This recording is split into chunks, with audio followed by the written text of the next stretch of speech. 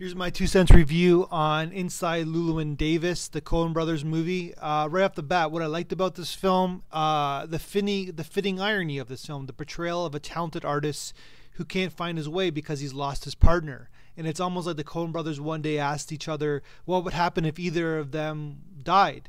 And would they also be lost souls like Llewyn Davis because he lost his partner and he's lost soul?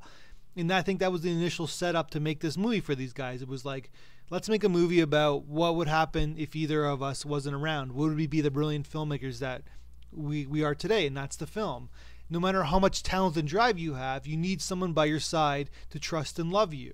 You need to get you need to get that confidence from somebody else to take chances and you know that they are by your side no matter what so you're able to like move up or move sideways or move down even no matter what because you have someone who loves them uh, by by by your side Llewyn Davis is a lost soul. He's alive, but he's lost a part of himself when his partner committed suicide.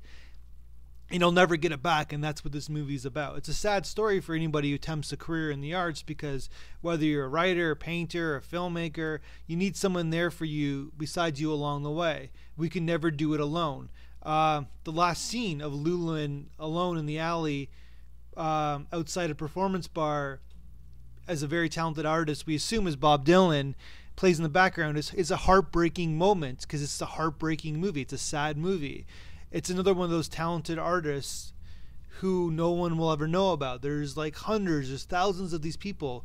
People who are probably even listening to this right now who are very, very talented, but they don't, they've lost their way. They've lost uh, a bit of part of themselves and nobody will ever know who they are. And that's what this movie is about. Uh, this is the this is a tragic movie.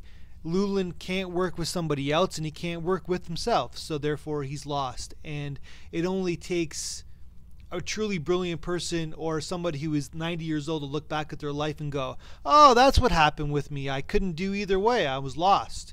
It's it's impossible for anybody like Llewyn to really understand who he is because he is himself. He's too too far inside of himself, and that's what happens. So he's born to fail because he can't step outside of himself.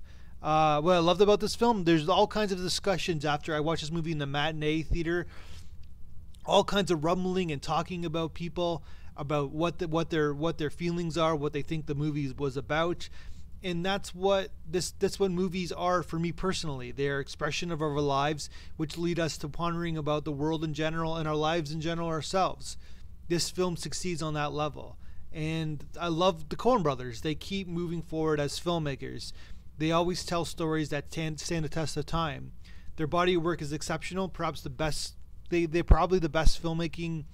Well, they're the best filmmaking team of all time. Perhaps they're the best filmmakers of all time because their movies keep getting better and better the more you watch them. That's my two cents.